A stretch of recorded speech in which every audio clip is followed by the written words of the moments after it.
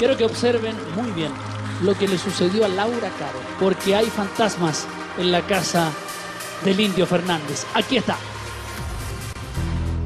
Creo que a Matías le tocó ver a una niña. Es esa la niña que se aparece. Dije, ¿cómo que se aparece? Me dice, sí, esa es.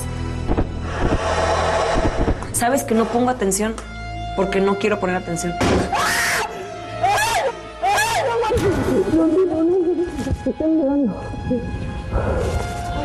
¿Qué pasa, chavos?